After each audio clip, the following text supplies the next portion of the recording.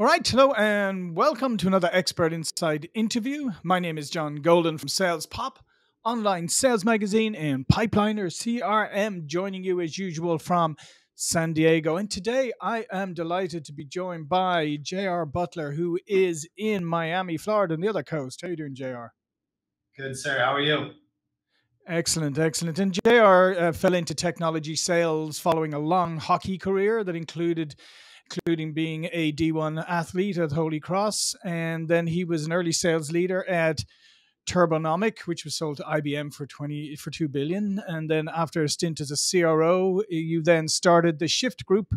Shift Group, which helps athletes transition into technology sales. And that's what we're going to talk about today is sales and athletics. It's a really interesting topic uh, here, JR, because a lot of people default into sales, right? You know, a lot of people go to college and maybe they'll do a marketing degree and then they finish their marketing degree and they suddenly discover that for every market, you know, for every 500 sales jobs, there's one marketing job. So they end up defaulting into reluctant into sales. So um, you're obviously helping encourage and transition athletes into technology sales. So first of all, why do you think athletes are uniquely qualified for technology sales or what attributes do they have that really lend themselves to this industry this well i think job?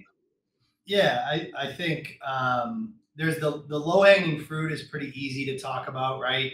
You know when you think about athletes you think about resiliency right? They're these mm-hmm. are the type of humans. They're used to losing. They're, they're used to getting cut from teams. They're used to coming back from injuries. There's just there's a muscle of like going through adversity that comes with competing on a day-to-day basis your entire life. Um, obviously, you know, being motivated through competition. Uh, that's what sports is. It's a meritocracy. So the idea that you can deliver your own outcomes uh, based off your performance and you're being measured against other people um, obviously has a ton of parallels to sales. Um, work ethic, right? Like that's a thing that you know your work ethic directly affects the outcomes that you can drive just like mm-hmm. sports. How how much time you're going to spend in the gym how much time you're going to you know practice your skills things like that. Um, i think coachability is something that is actually you know not talked about enough. Um, most people don't take constructive criticism very well especially nowadays. I think athletes are unique in that they're used to getting feedback maintaining their confidence and using that feedback to get better at something. And I think in mm-hmm. a, especially early in a career, being able to take constructive criticism and feedback and not let it impact your confidence is super important. And then I, the last piece I think of is is uh, growth mindset, right? The idea that like, you know, just because you're not good at something doesn't mean you can't get better at it.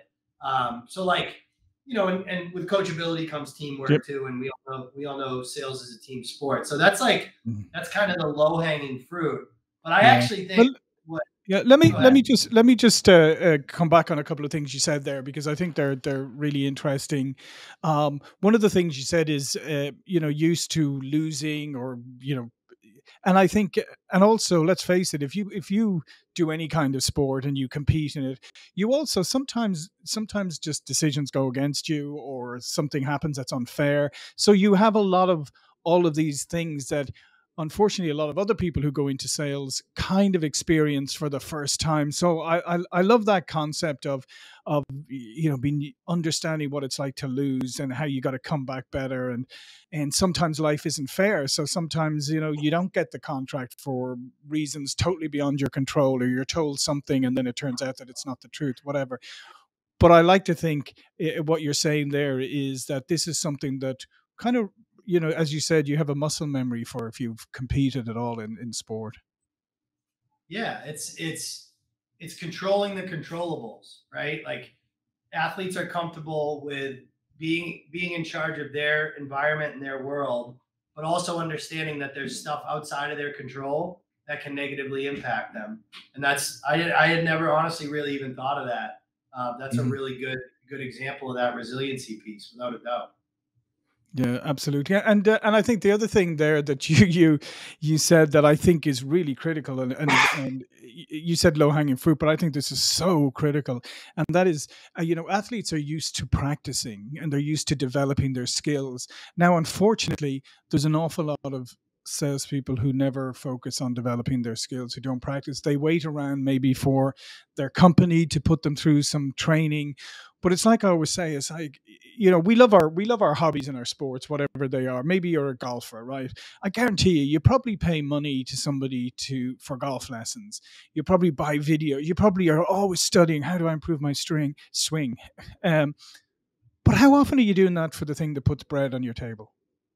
Probably never. So that's what I'm saying. Again, it's another thing where you already come into it knowing that if I'm going to be good at something, I'm going to have to practice. Yeah, and and I would even take that a step further. Um, and it's not just practice, right? Like one thing that athletes understand inherently is it's it's practicing with intention, right? Mm-hmm. You know, famous saying, "Perfect practice makes perfect." Um, so this idea of like you know going through the motions on a skill or a habit or a process is one thing but doing that with intention, measuring like where you're weak and where you need improvement, and then going back to the drawing table and, and continuing to practice that thing with intention until you get it right. That's that's unique to athletes. That that idea of like practicing with intention, as well as like a lot of people will will practice things that they're good at already because it's it's comfortable. It's like you know I used to shoot pucks. I was a hockey player, like you said, and I would shoot 400 bucks a day in my driveway. And my dad would ask us at the at the end of the day, be like, "How many pucks did you shoot?" And I, you know, immediately I'm like, "400 pucks." And my dad would say, "Well, how many backhands did you take?" Because I sucked at backhands. Mm. And when I was younger, I wouldn't practice them at all because that's uncomfortable. I'm not good at it. So I didn't want to sit in the driveway and take 500 backhands. But I, I, I got to understand that to be really great at something, you don't just practice what you're good at you have to really practice what you're really bad at and turn a weakness into a strength. And that comes with practicing with intention. Yeah, no, that's a, that's another um, ex- excellent point because yeah, we tend to like practice the things that we like and avoid practicing things that we don't we don't like. And the other two things before you move on to the the next level, um, the other two things you mentioned is coachability, which I think is that is so so critical because uh, that's one of the things that uh, it, throughout my career, certainly recent uh, or companies that I've been with, we've always looked for in salespeople is coachability. It's so so important, and it's something that you that maybe we fool ourselves to think that most people are naturally coachable. Well, they're not, um, and that's why also the the onus is on the the leadership there to actually know how to coach as well. Yeah, yeah, coachability definitely goes goes both ways, and I think you know coachability it's it, especially nowadays, right? Like it's it's really hard to identify in an interview process if someone can take feedback and mm-hmm. and not take it personally or not like make excuses of like, oh well, this is why I think I'm right, right? Like so mm-hmm. coachability mm-hmm. takes a certain level of like kind of humbleness to really be able to apply it on a day-to-day basis and you still have to bring that confidence right like you got to be able to take negative feedback like regularly and still like feel like you're really good, um, yeah. especially as a salesperson. That's hard. Yeah. So those are the, um, including the growth mindset. Those are the, the, you said at the beginning, the low hanging fruit. All of which I think are critically important. So even if it was just those things you focused on, you'd you'd be ahead. But t- take us to the next level of of why athletes make great technology salespeople. So and and these have just come up like recently as I've worked with more and more elite athletes. Like we've helped a lot of professional Olympic and like you know high level D1 athletes.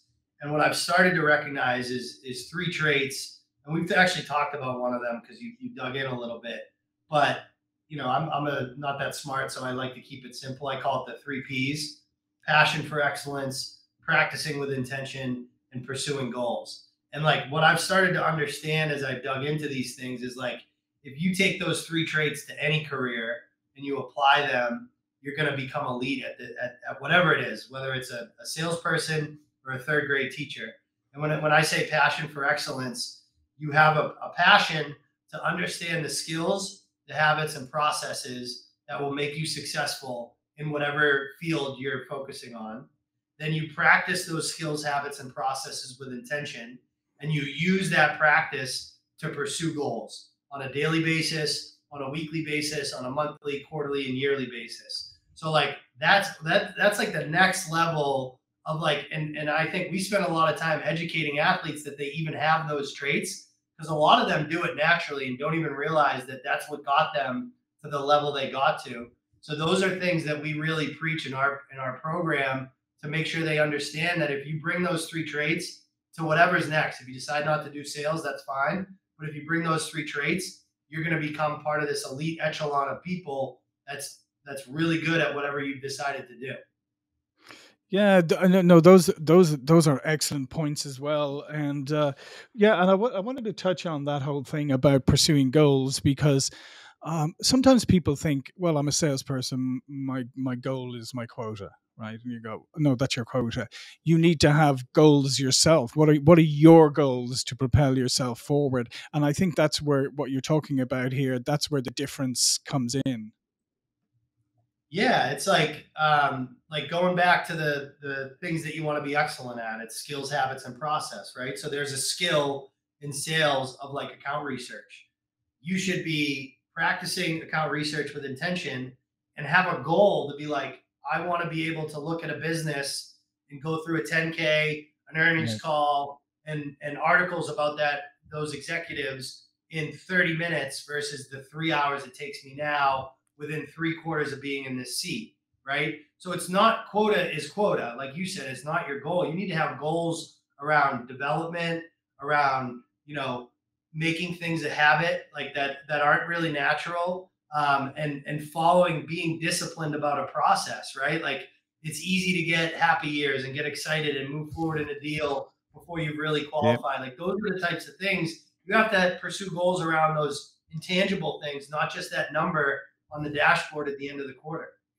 Mm-hmm. So, I mean, and, and I think that's a really critical point as well because it, it's it's great to start doing things, but it's the consistency that makes a difference. So, say for instance, as as your hockey career went on and as you became an elite hockey player, how often did you practice the fundamentals? Like ten times more than we played, right? Like right. you know, there was, you know, literally every summer was stick handling is like the most fundamental skill you can have in ice hockey.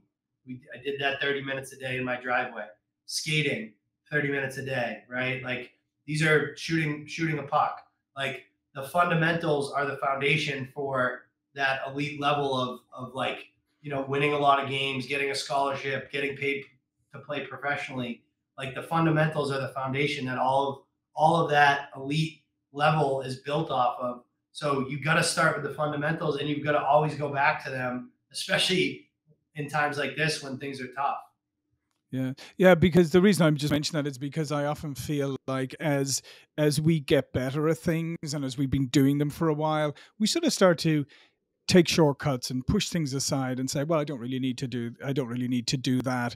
And then suddenly maybe things aren't going as well for you. And when when things aren't going as well for people i always say have you gone back to the fundamentals? Are you doing all of the mundane boring setup stuff that you used to do? And you'll often find people will say I'm probably not doing that as much. And I like, I mean, I do, I do martial arts, and like you, I mean, sometimes when I go when I go to martial arts training, we just spend the whole time doing basic foot placement, something that you've done thousands and thousands of times before. And you know what? You always find there's always something to correct.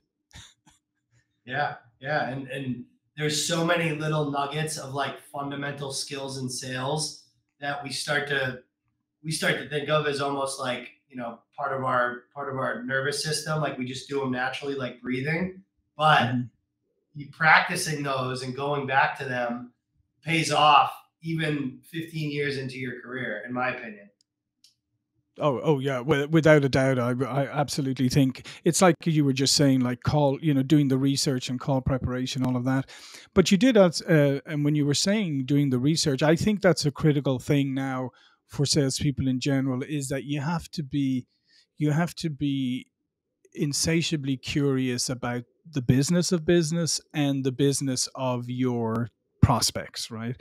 Because if you're not, you're not going to be able to relate to them. The days of, of a salesperson being able to go, oh, I don't know anything about business. I'm just here to smile and sell you on my personality. Those are long gone. Oh yeah, it used to. You know, I think part of what we do is destigmatizing sales, but people still think yeah. of sales as, as pitching, but mm-hmm. sales isn't pitching, right? Like I was a sociology major with a minor in art history and sign language and didn't own a computer. And I've been selling like the most complex technology solutions in the world to the largest organizations in the world. And I still can't turn my iPhone on. But what I did do really well is I became an expert in my customer's business and the problems that they face and the priorities that they have. And, and if you do that, then you don't really ever need to know the ones and zeros, the bits and bytes, and the mm-hmm. speeds and feeds. That's where you need to become an expert to become a great salesperson. Yeah, absolutely. And if you take it back to sports again, I mean, it's you think about it when when somebody talks to you about your favorite team or your favorite sport or whatever, you and they know anything about it, you're suddenly in a you, you know you're uplifted. You want to engage in the conversation. It's the same in sales. If you show that you know anything about my business or the business that I'm in or anything like that, okay, I'm going to listen to you in a way that I wouldn't listen to somebody else who starts with a pitch hundred percent. Hundred people people like to talk about themselves and hear about themselves. Nobody wants to hear about your product. Nobody cares. and and what what else do you uh, what other piece of advice or, or help did you give to to elite athletes as they want to make this this transition because it is I mean it, as we know yes it's it's a team sport but it's also it's also got a lot of individuality to it, and a lot of people are used to that. Um, but how about people who maybe did individual sports as opposed to team sports? Is that something that they need to learn, or did they already know that because let's face it, their coach and everybody around them is a team too? Yeah, like I, you know, you mentioned golf. Like, you know, we we've helped a bunch of former like Korn Ferry professional golfers, um, and what I actually find with those guys is there is a little bit of a team aspect to it when you have like a caddy and you usually have a coach. Mm-hmm. So you are they do have that coachability factor and they do have that like partnership factor when you're on the course and, and you have your your caddy that you're working with. Um, but the one thing that they they have that like other athletes that come from team sports don't have is they have a little more self-starting discipline. Like nobody is, you know, when you're on a football team with 110 other people, you better show up to practice because 109 people are gonna be like, where the hell is JR? Right? Mm-hmm. When you're a golfer, you're going to the driving range, there's nobody waiting there for you, right? So we actually have had a lot of success with those individual athletes because there's a certain motor that you have to have to get that far in a sport that you play by yourself, essentially against yourself, um, that I think is really unique. So um, there's definitely the team aspect. You still have that, the coachability, but you also have this motor that that you don't see a lot in team sport athletes. Mm.